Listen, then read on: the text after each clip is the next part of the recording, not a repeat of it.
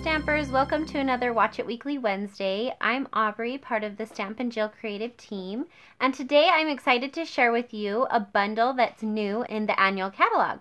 So it is this hand-drawn blooms with the banner blooms dies.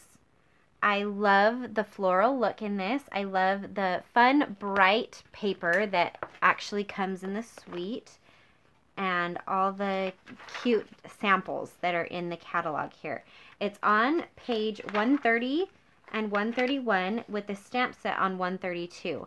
And there's actually this sample on page 132 that I was really inspired by. So I wanted to kind of take that and make it my own. So I want to show you what I did with that. So let me bring that in. I have just this, this big flower die piece cut, cut out of Whisper White. Now the cool thing about this stamp set is that it coordinates really well with the die. So it has different sayings in here that um, go on this cute little banner.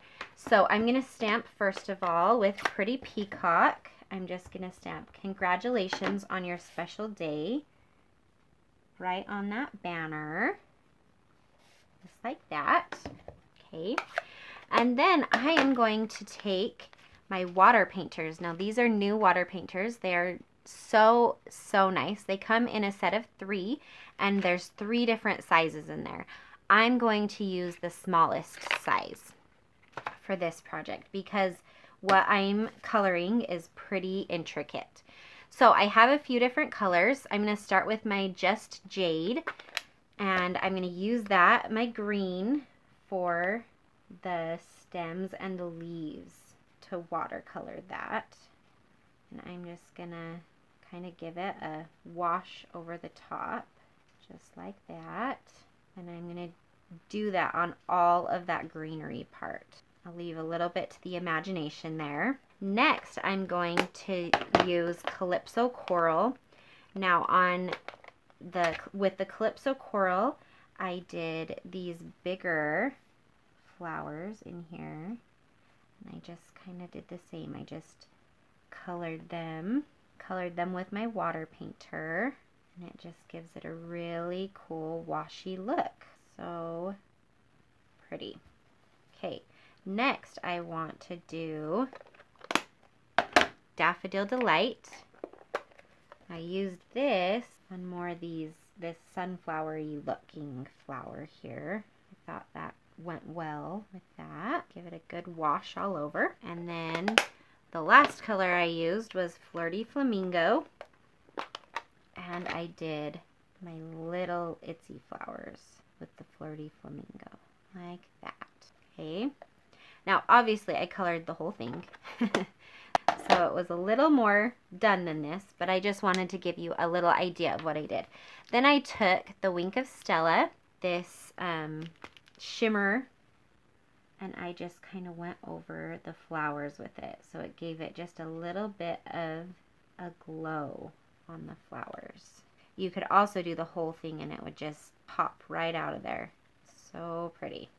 Okay, so let me bring in the finished one and you can see a little bit better how it turned out. So I stamped on the back of a piece of Pretty Peacock cardstock and then put it over the top of it and added some pretty rhinestones here.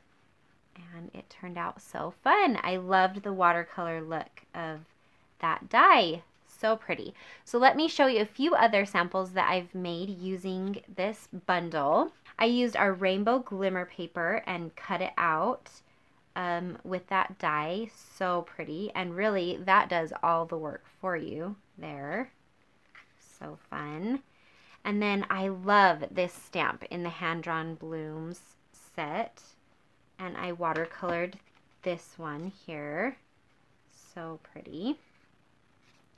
And then another one. I did this using the blends, so it's really bright and pops fun. Cute. Oh, and I did this all with the new in colors, so that was fun too. So fun. So I have loved playing with this set. It's such a beautiful one, um, a beautiful bundle of products. Don't forget that if you bundle select products in the catalog, that you can get 10% off of those products. This bundle has been one of my favorites to play with. I've loved it and I can't wait to play with it some more and get some more samples.